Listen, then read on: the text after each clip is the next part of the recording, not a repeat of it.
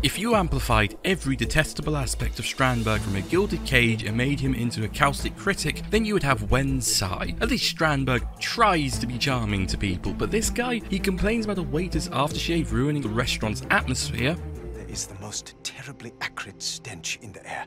T tile cleaner or some such. Uh, are you wearing cologne? Well, well my girlfriend's a, a perfumier, and, and she, um... Stop it. Are you trying to kill me? Is this some sick joke? You know I am coming to visit your little establishment, and you decide, lovely, let me utterly cack all over it. Is that it? I assure you, sir, I, I never thought I... I can barely breathe, you beast. I shall have to recalibrate my entire experiential baseline. But don't you think for one moment that your little trick will work?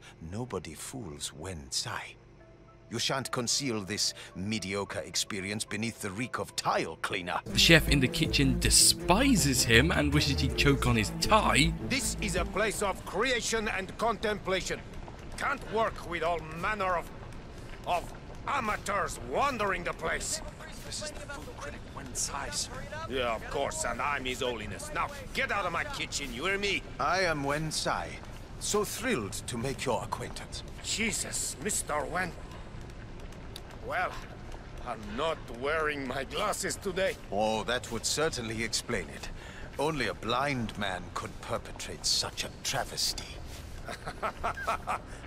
Yo, I've heard about you.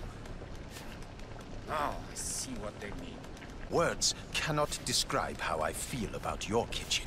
Ah, yes. uh, Perhaps you might care to experience my famous prawn soup? No! I shall not be bought like some cheap travel blogger. I have standards. And you, Chef Bernard, are an offense to them all.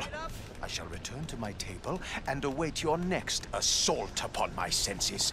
That little shit. I hope he chokes on that little pie of his. such a thing. And Wen constantly critiques the food without eating it. No, I don't actually taste the food. I experience it. Don't you understand? It's vulgar to eat. I see, sir, Mr. Wen. If I only wanted to taste the food, I might as well have ordered takeout. That way, I might have spared myself the tacky decor. Yes, sir. I mean, what is this anyway?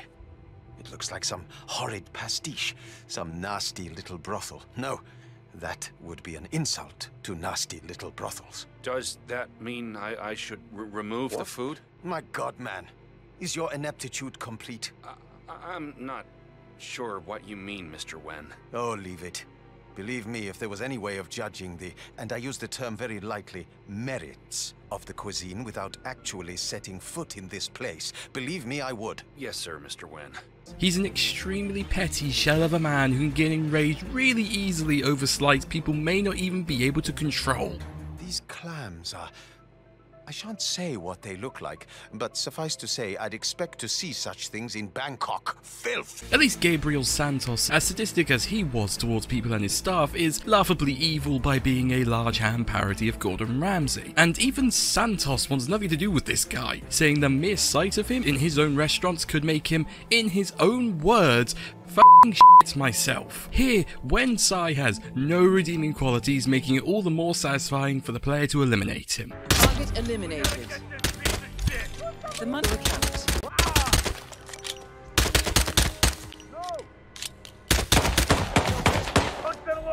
It's clear in listening to him for even a single minute that he is an insufferable bastard.